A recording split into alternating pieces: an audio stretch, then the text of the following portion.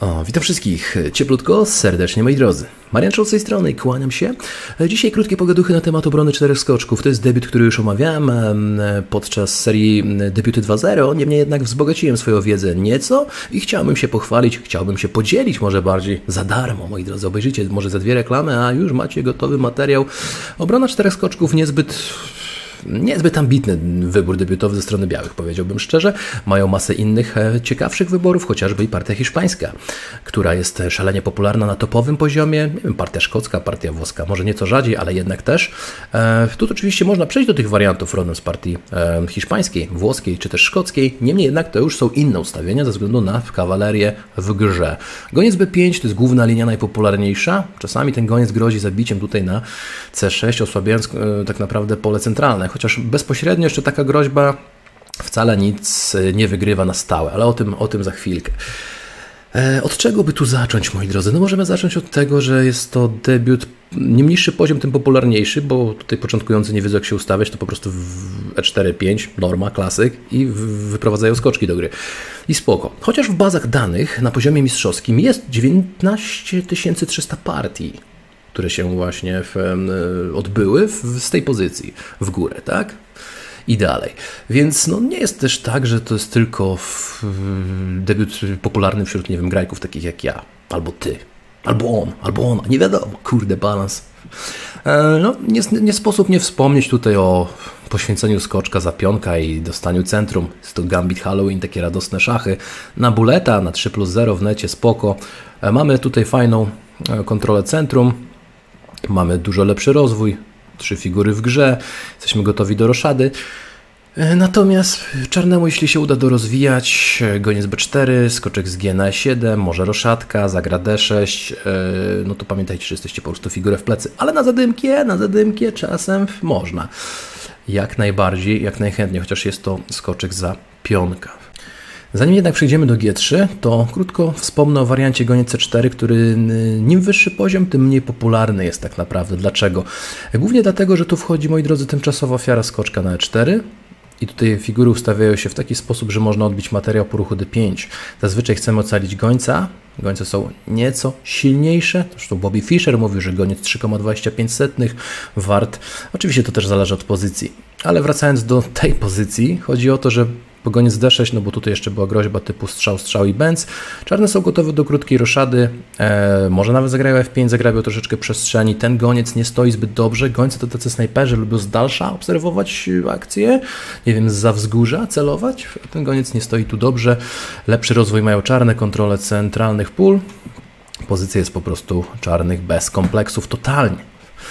Więc goniec C4 nie będzie dobry e, w momencie, kiedy rywal będzie znał teorię i po prostu walnie nam na, wam na E4. Oczywiście po tym strzale można uznać, że skoro i tak figura będzie odbita, no to zderoszuje go, chociaż to jest jeszcze gorsza redakcja tak naprawdę dla czarnych, ja już o tym mówiłem, mm, ze względu na to, że idzie D5.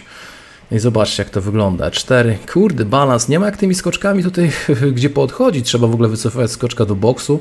Na G1 wygląda to kiepsko. Goniec C5, no mega kontrola centrum figury w grze. Co prawda nie ma roszady, ale bęc, bęc, zaraz sztuczną roszadę od ręki zrobił odwitki i zrobił czarne i tutaj było partii, już wam mówię, 5, no było partii 7 i wszystkie wygrane przez czarne na poziomie mistrzowskim.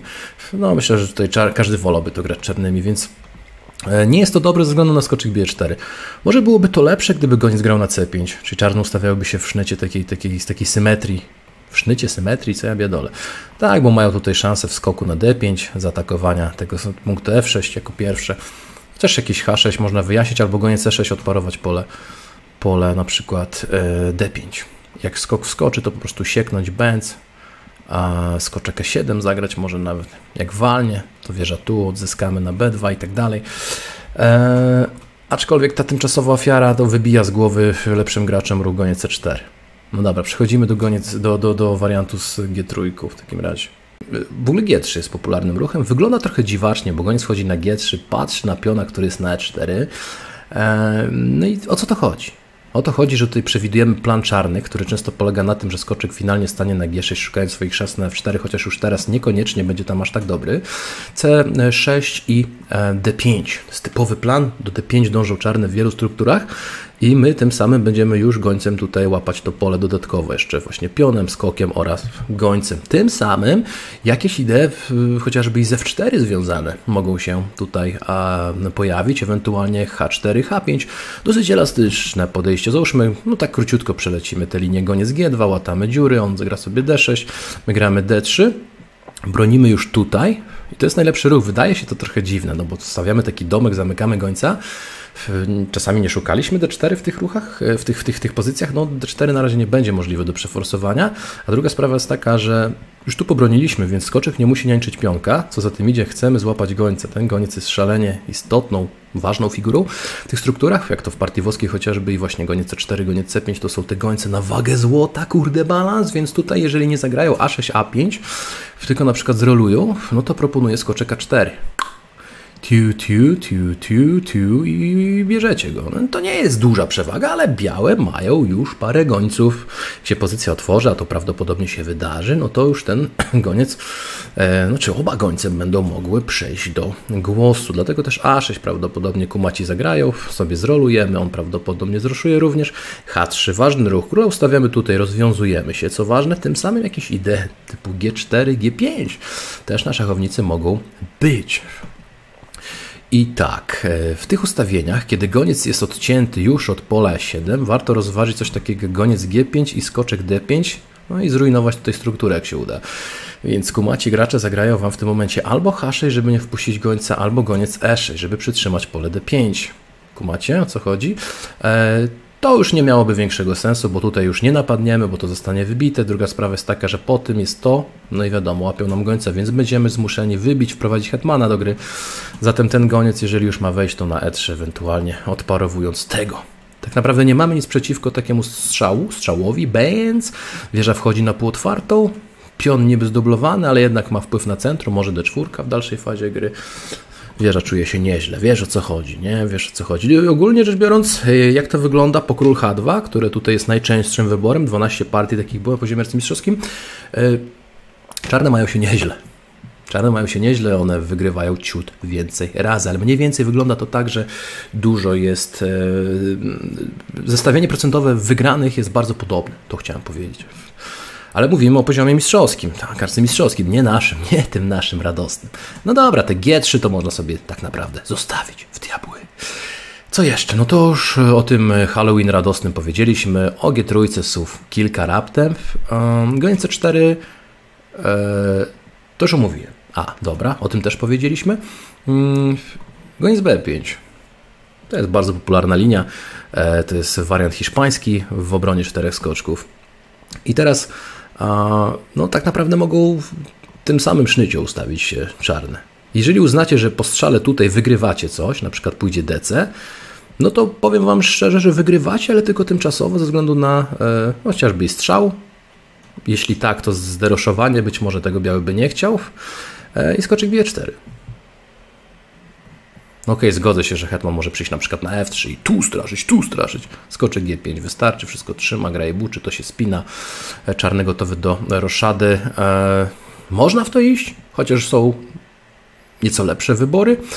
Zamiast bicia można, moi drodzy, sobie zrobić roszadę. Czarny oczywiście też nie chce być gorszy, też prawdopodobnie zroszuje. Zagramy D3, on zagra D6. Warto mieć na uwadze, że polowanie na te gońce może mieć miejsce, kiedy już odetniemy im drogę powrotną do domu. E, to jest ten, ta sytuacja, o której mówiłem. Nie ma gońca A7, więc goniec G5 i tu chcemy. Więc albo goniec E6 już odparowuje, albo wybija tego skoczka, póki jest czas. My nie mamy nic przeciwko takiej strukturze, bo to jednak są piony we kłupie, to jest kolejna półotwarta linia.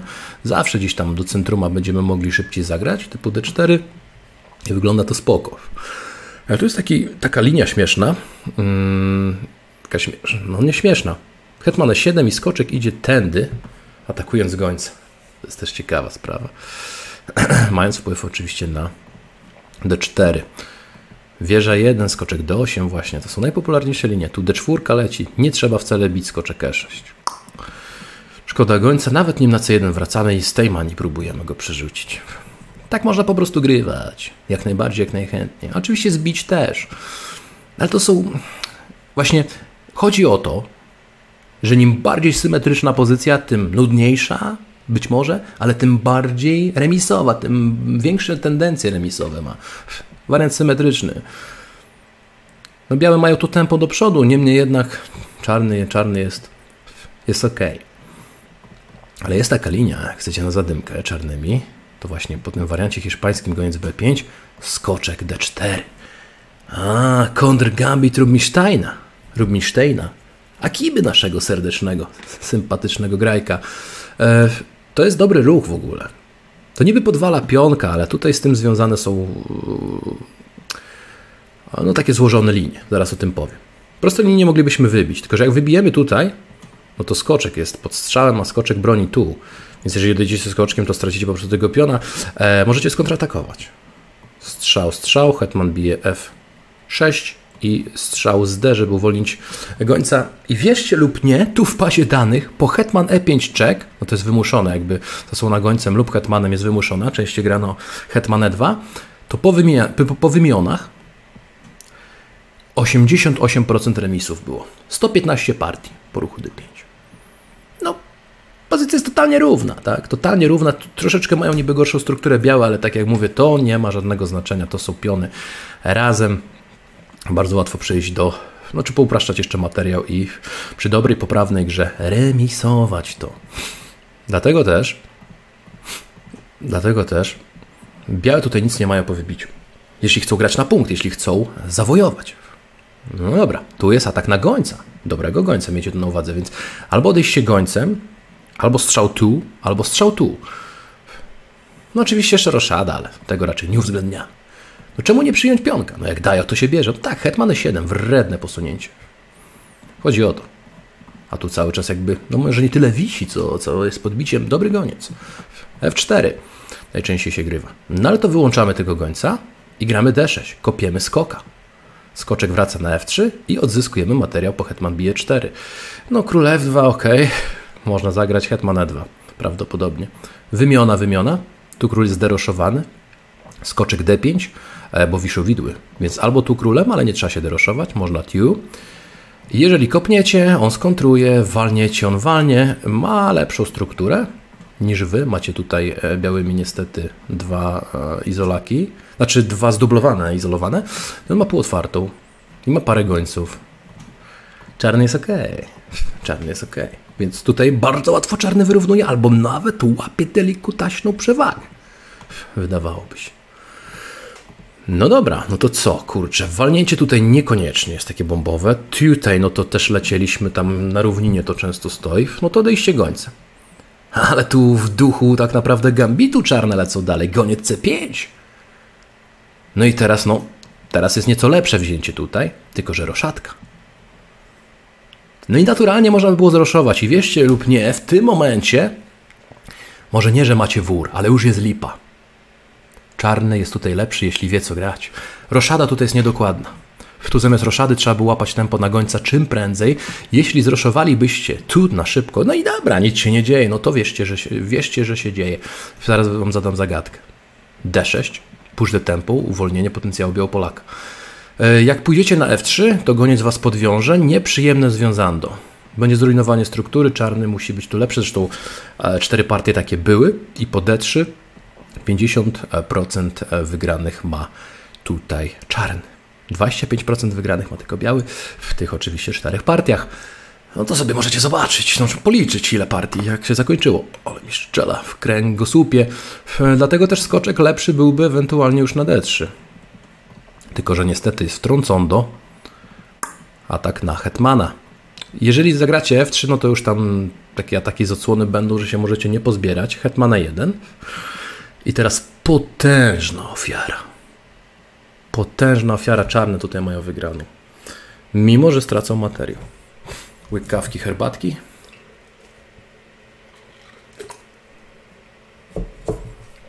Kawka, herbatka.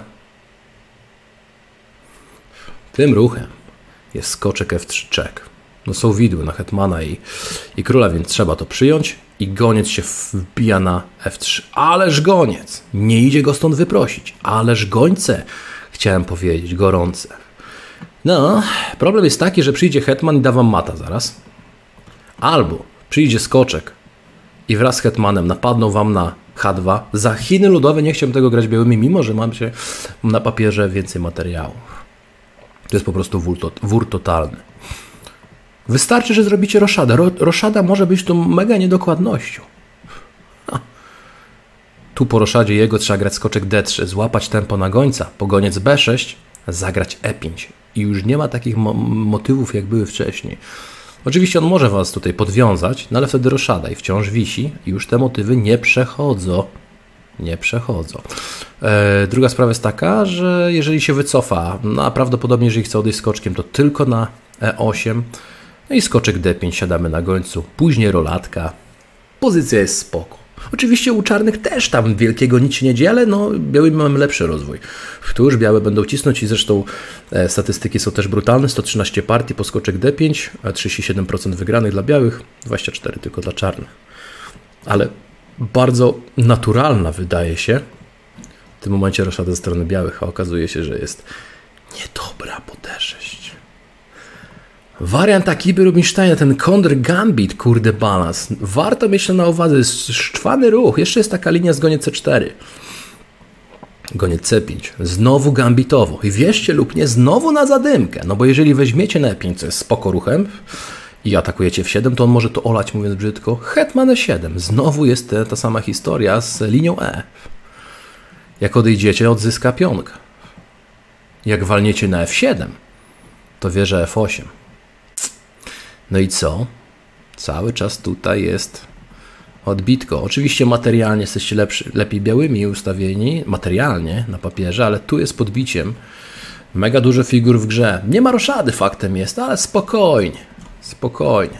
Yy, mega rozwój czarnych powinien to zrekompensować. Załóżmy, że zroszujecie, no to jeżeli wymienimy wieże za te dwie mega aktywne figury, jedyne praktycznie na szachownicy, Hetman bije, no to czarny zostaje Faktem jest, że tutaj ze stratą jednego punktu w materiale, bo to jest wieża i dwa pionki na e, skoczka i gońca. Czekaj, się zaplątałem w kablach. Kurde bele. No ale czarny jest tu lepszy. Czarny jest tu lepszy. Zaraz się dorozwija. Nawet brak e, roszady nie będzie dużym e, problemem. No prawdopodobnie E5 mogłoby się teraz pojawić, żeby tego skoczka przegonić. Skoczek przez H5 może nawet się ustawiać, proszę Państwa. No załóżmy D3, żeby uwolnić potencjał Czarnopolaka, pokażę tę linię dalej, no to przez B6 sobie zagramy. O, koniec B7. Jak będzie potrzeba, to może i jak najbardziej, jak najchętniej. Tam bicia królem nie było, nie było ruchu królem, będzie można rozważyć długorolkę. Długorolki. No jest jeszcze D4. Szczał, szczał. Jeżeli Wam zagrają D6 mięciutko, no to można się przepychać już. Albo szczelić i spróbować deroszować, albo podwiązać i już grozić jakimś D5. To nie jest optymalny ruch, chociaż nie można też go pokarać bezpośrednio. Strzał jest najlepszy. I po odbiciu albo goniec C5, albo goniec B4. Jeśli goniec C5, bronimy, już nie ma typowego napadu dla partii szkockiej Hetman F3. Zresztą nie byliby się w stanie bronić C3. Eee, I w tym momencie czarne nie mogą sobie zroszować. Jak zruszyło to oczywiście bang, wtrącenie na hetmana i goniec podbicie. Więc najczęściej poprawiają gońca na B6. E, my to wybijamy bardzo często. Ewentualnie zamiast wybitki tutaj można jeszcze zagrać hetman D2 z długą roszadu, co polecam serdecznie. F3, G4, G5, hejo. Taki atak jugosłowiański, taki atak angielski przeciwko Najdorfowi może z tego powstać. E, można też oczywista mm, wy, wy, wymienić tutaj. Załóżmy, że bije do centruma z B. E5 wrzucić, Hetman F3, może w długą. No jest masa, masa, Massachusetts, masa opcji mm, w tej, w tej partii szkockiej, kiedy, znaczy w tej wariancie szkockim w obronie czterech skoczków. Kuźwa, tak z tymi nazwami. Wariant Marianczenkowa w mrągowskim specjale, w kąpany w jeziorze Czos, kontr Gambit Falkbira, który lubił smażone pierogi. Nie, no i nie idę w to dalej. Wiadomo, tych nazw jest dużo. W ogóle najśmieszniejsze nazwy, jakie, jakie pamiętam, to y, był, było otwarcie, czy wariant pterodaktyla, było Drakuli Frankensteina wariant, a co tam jeszcze było? No smażona wątroba, no to klasyk. Dużo tego. Jeszcze jest druga szkoła, goniec B4, podwiązujemy tutaj czarnymi, żeby wygrać pionka. I teraz nie można goniec D3, bo gubicie skoczka. Trzeba wybić, on raczej z B, żeby nie doroszować. Się na życzenie i goniec D3. No i D5. Czarny jest tu ogólnie spoko. Można zrolować, on zroluje prawdopodobnie. O, przepraszam. Królew, królew 8 to Patrycjusze to niekoniecznie. Goniec G5 i tu goniec wraca, więc tutaj często nie rozważamy bicia, mimo że zrujnujemy strukturę, no bo później nie ma jak się tutaj rozwikłać tak łatwo po hetman F3, więc goniec E7 i partia trwa. Najlepszy C6. No, tak to wygląda, kurde bele. Mniej więcej. W partii czterech skoków.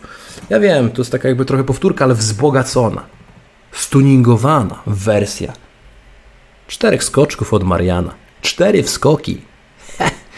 No tak, tak można. Polecam też gorąco H4 tak naprawdę. Nie no, niekoniecznie. Chociaż jak ktoś jest mega graczem, to i H4 was zajedzie. Dobra, dziękuję za uwagę, miłego weekendu, chociaż dzisiaj środa, ale mimo wszystko. Środa, mały piątek. Pozdrawiam.